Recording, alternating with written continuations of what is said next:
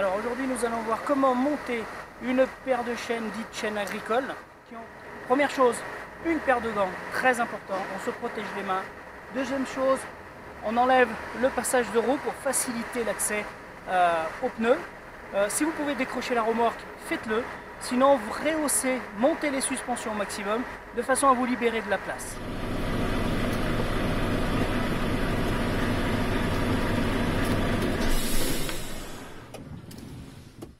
Alors tout d'abord, positionnez la chaîne par terre. Vérifiez son bon état. Aucun maillon ne doit être manquant. Première extrémité, nous avons ici les crochets, un de chaque côté, pour attacher ensuite euh, les chaînes de bout en bout. Le positionnement de la chaîne, vous voyez ici le maillon, c'est de ce sens-là. Il ne doit jamais reposer sur le pneu avec le crochet à l'intérieur, cela risquerait de détériorer le pneu vérification du bon état de la chaîne, aucun maillon manquant. Et à chaque extrémité, ici, c'est pour tendre les chaînes et ça doit être de la même longueur. Nous avons ici au sol le tendeur, donc vérifiez que les crochets aient un écartement suffisant pour venir ensuite se mettre dans les maillons de la chaîne, pour tendre la chaîne. Alors la deuxième opération, ça va être bien sûr de, mettre la chaîne sur le pneu. Donc n'oubliez pas, équipez-vous de vos gants.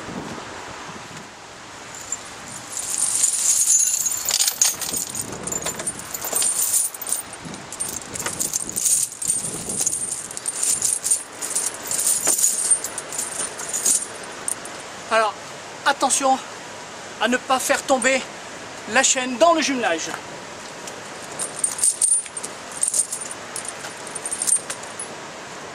Voilà, nous accrochons ainsi là sur le pneu, c'est coincé. Nous allons accrocher la première extrémité ici à la chaîne de façon à ce que lorsqu'on va avancer, la chaîne ne tombe pas.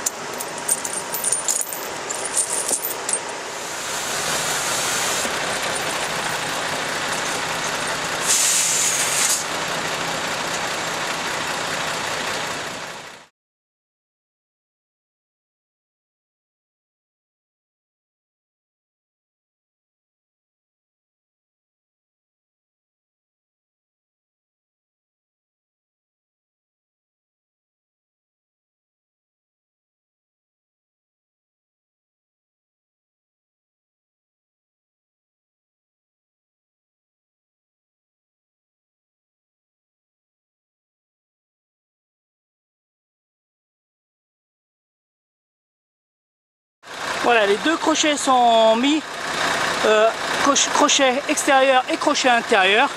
Nous allons les retendre un tout petit peu. Voilà, la chaîne est positionnée, il ne me reste plus qu'à mettre le tendeur.